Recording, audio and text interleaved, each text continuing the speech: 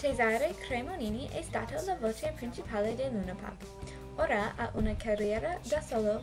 Ha pubblicato quattro album, Bagus, Magesse, 1 più 8 più 24 e il prim- primo Bacio sulla Luna. Il vero nome di Giovanotti è Lorenzo Cherubini. Molte canzoni di Giovanotti parlano di filosofia, religione e affari politica. Mondo è stato pubblicato da Cesare Cremonini nell'album 1999 e 2010, The Greatest Hits. Era scritto da Cesare Cremonini e ha cantato con Giovanotti.